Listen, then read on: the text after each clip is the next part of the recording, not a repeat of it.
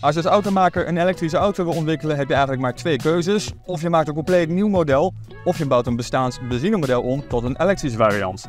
Nou, die eerste route, daar kiezen merken voor zoals Mercedes en Hyundai. Denk aan de EQ-modellen van Mercedes. Die hebben verder niks te maken met de benzinemodellen van Mercedes. Of denk aan de Ioniq-modellen van Hyundai. Maar andere merken, zoals bijvoorbeeld BMW, kiezen ervoor om ook hun benzinemodellen aan te bieden met een elektrische aandrijflijn. Denk aan de X3, die kun je krijgen op benzine, maar ook als de iX3, dan is die elektrisch. En die route die kiest Opel ook. Bij Opel kun je bijvoorbeeld een Corsa op benzine krijgen, maar je kunt ook een Corsa Electric krijgen en je kunt een Mokka krijgen en een Mokka Electric. Tot nu toe kon je ook de Astra krijgen, alleen op benzine en als plug-in hybrid. Maar nu kunnen we hem krijgen als de Astra Electric. In die auto zitten we nu en in deze video ga ik er alles over vertellen.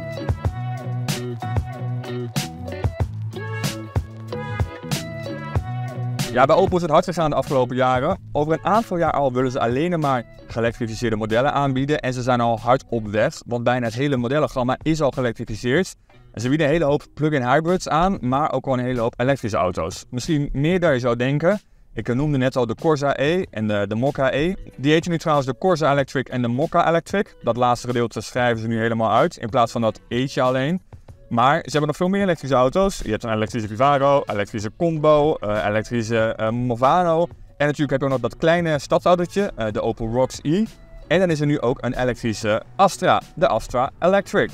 Deze auto gaat het opnemen tegen onder andere de Volkswagen ID3. Uh, dat zien ze zelf als de grootste concurrent. Wellicht omdat het ook een Duitse autofabrikant is. Maar eigenlijk is natuurlijk de Tesla Model 3 de auto die je moet zien te verslaan tegenwoordig. Wat natuurlijk wel heel moeilijk is. Maar toch gaat het proberen bij Opel met deze Astra.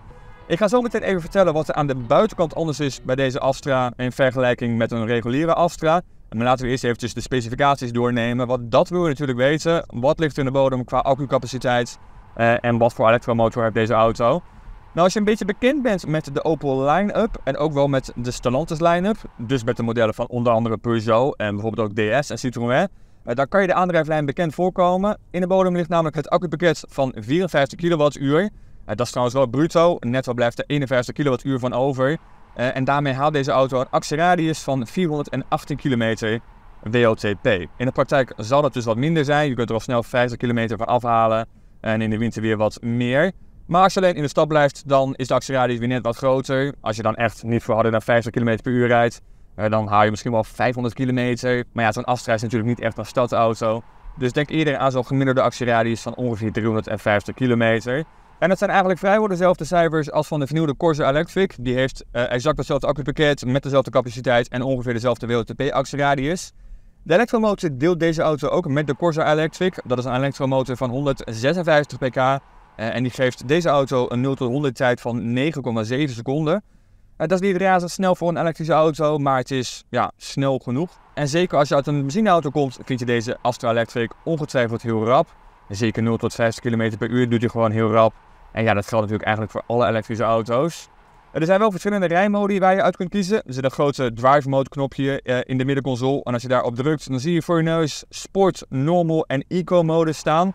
Als je de Eco modus selecteert, dan wordt de elektromotor behoorlijk afgeknepen.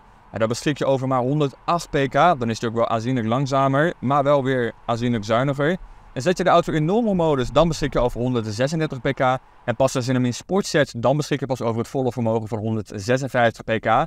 Je kunt er dus voor kiezen om hem altijd in sport te laten, zodat je altijd beschikt over dat volle vermogen. Maar je kunt hem ook gerust in eco zetten of in normal. Want als je het gaspedaal volledig intrapt, dus kickdown, en dan beschik je ook altijd over het volle vermogen, ook als je in eco staat of in normal mode. Qua rijdynamiek is de Astra Electric niet heel anders dan bijvoorbeeld een plug-in hybrid versie van de Astra. En die al een tijdje op de markt is. Dat komt namelijk omdat deze Astra Electric evenveel weegt als een plug-in hybrid. De auto heeft ja, niet een heel groot accupakket. En zoals ik al zei, 54 kWh. En daardoor is die gewoon niet heel zwaar voor een elektrische auto. Daar zijn ze ook heel trots op bij Opel. Uh, ze zeggen dat dit de lichtste elektrische auto in zijn klasse is. Ja, dat klopt ook wel. Hij is wat lichter dan een Model 3. Ongeveer zo'n 50 kilo, meen ik. En hij is ook wat lichter dan een Volkswagen ID3. En dat betekent dus dat de rijervaring niet per se heel anders is. Uiteraard ligt het gewicht nu wel wat lager in de bodem, maar daar merk je niet zo heel veel van. Qua praktische bruikbaarheid zijn er wel een aantal zaken anders in vergelijking met een reguliere benzineuitvoering van de Astra. Uh, ik heb hier uiteraard wel de hatchback-uitvoering, uh, niet de Sportstourer. Later dit jaar, eind 2023, komt ook nog een elektrische versie van de Sportstourer. Maar Opel begint met het introduceren van deze hatchback als elektrische variant. Maar qua bagageruimte dus, iets minder ruimte hier achterin. De hatchback in vergelijking met een reguliere uitvoering. En die heeft zo'n 422 liter bagageruimte. Hier pas achterin maar zo'n 350 liter. Wat op zich echt nog wel gewoon voldoende is voor je dagelijkse boodschappen. En ook als je op vakantie gaat, is er eigenlijk wel voldoende ruimte voor een aantal covers. Maar het is toch wat minder. En ook als je de banken neerklapt, blijft er wat minder over. Maar dan zit je nog steeds op net geen 1300 liter. Aan de buitenkant van de Astra kun je heel moeilijk herkennen of je te maken hebt met een benzineuitvoering, of een plug-in hybride uitvoering, of deze Astra Electric. Ze lijken eigenlijk allemaal heel erg op elkaar. Bij deze Astra Electric kun je het eigenlijk alleen maar zien aan de achterkant. Daar zit een E-logootje. Daar staat niet Electric uitgeschreven, maar heb je dus alleen een E'tje op de achterklep. En aan de voorkant zou je het kunnen herkennen aan de voorbumper. Deze heeft namelijk een sportieve voorbumper die je ook op de reguliere benzineuitvoering kunt krijgen en op de plug-in hybrids. Maar op deze electric uitvoering is die standaard. Deze Astra Electric die is de standaard wat stoerder dan een reguliere uitvoering van de Astra. En dat is eigenlijk het enige waar je het aan kunt herkennen. Aan de binnenkant krijg je standaard AGR gecertificeerde stoelen. Dat zijn van die stoelen die eh, ja, als het ware een beetje goed voor je rug zijn. Ze zitten ook erg lekker, moet ik zeggen. En die zitten dus standaard in deze Astra Electric. Wat ook standaard is, dat is de LED-verlichting rondom. Maar je kunt ook een matrix LED-verlichting krijgen. Eh, de zogeheten Intellilux LED-verlichting, zoals ze dat noemen bij Opel. Maar daar moet je dan wel weer voorbij betalen.